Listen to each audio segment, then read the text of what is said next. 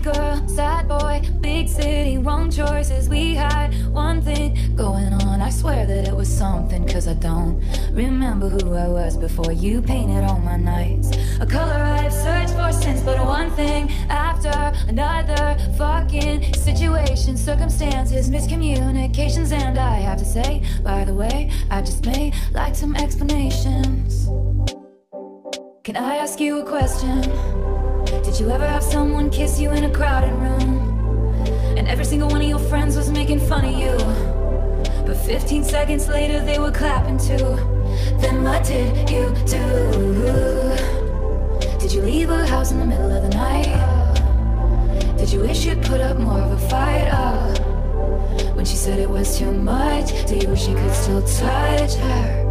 Just a question. Half moon eyes, bad surprise. Did you realize out of time she was on your mind with some dickhead guy that you saw that night? But you were on something. It was one drink after another. Fucking politics and gender roles, and you're not sure, and I don't know. Got swept away in the gray. I just may like to have a conversation.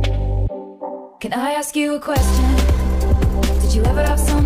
You in a crowded room? And every single one of your friends was making fun of you. But 15 seconds later, they were clapping too. Then what did you do?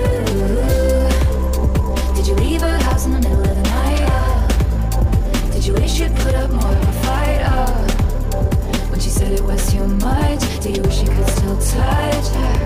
It's just a question. Does it feel like everything's just meteor strike? And what's that that I heard that you're still with her? That's nice, I'm sure that's what's suitable and right. But tonight, can I ask you a question? Did you ever have someone kiss you in a crowded room? And every single one of your friends was making fun of you. 15 seconds later, they